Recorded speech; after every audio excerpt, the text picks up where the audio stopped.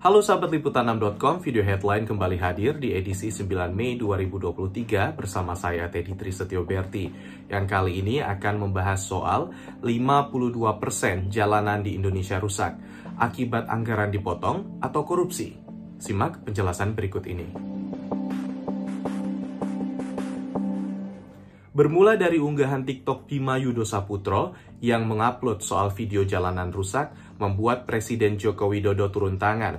Bahkan terkuak, ada 52% jalanan di Indonesia yang terbilang rusak.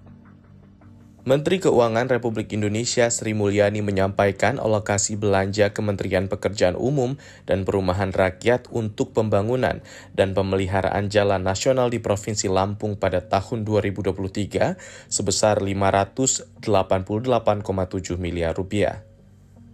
Pada tahun 2022, realisasi belanja Kementerian PUPR untuk jalanan nasional di provinsi tersebut mencapai 508,1 miliar rupiah. Adapun secara keseluruhan, ruas jalan nasional di Provinsi Lampung mencapai 1.289,1 kilometer.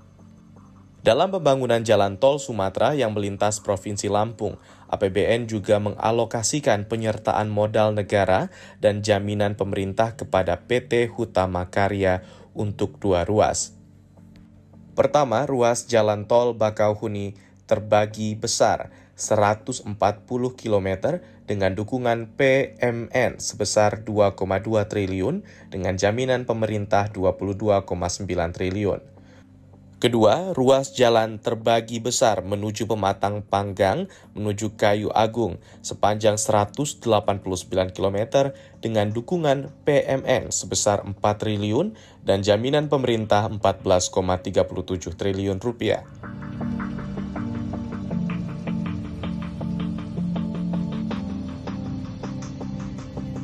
Wakil Ketua Bidang Pemberdayaan dan Penguatan Kewilayahan Masyarakat Transportasi Indonesia, Joko Setijowarno, memaparkan kondisi jalan rusak tidak hanya banyak terjadi di Provinsi Lampung, tapi juga tersebar di berbagai daerah di Indonesia.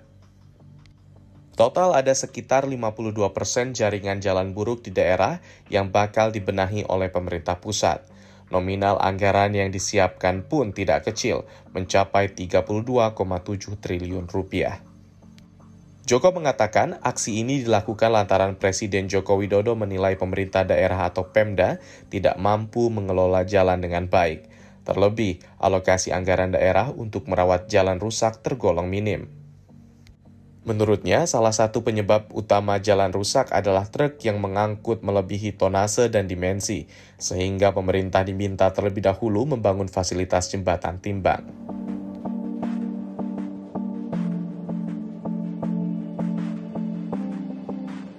Juru bicara Kementerian PUPR Endra Atmawijaya mengungkapkan salah satu penyebab banyaknya jalan rusak di Indonesia dalam beberapa tahun terakhir. Salah satunya karena adanya anggaran perbaikan jalan yang dialihkan untuk penanganan COVID-19. Diketahui sejak 2019 lalu, sejumlah anggaran dilakukan pengalihan untuk menangani dampak dari pandemi COVID-19 di Indonesia. Salah satunya anggaran untuk perbaikan dan perawatan kondisi di jalan Indonesia. Atas adanya pengalihan anggaran, ada sejumlah jalan yang tidak mendapat perawatan sehingga akhirnya mengalami kerusakan dan tidak langsung diperbaiki karena keterbatasan anggaran.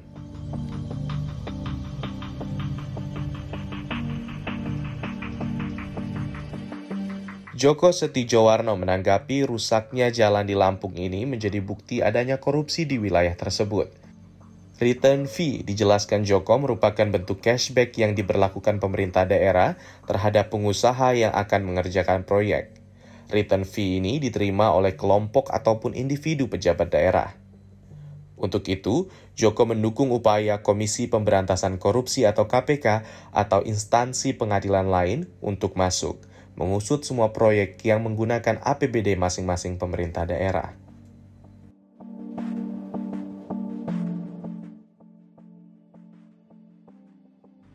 Demikian video headline hari ini, saya Teddy Trisetyo Berti undur diri dan sampai jumpa.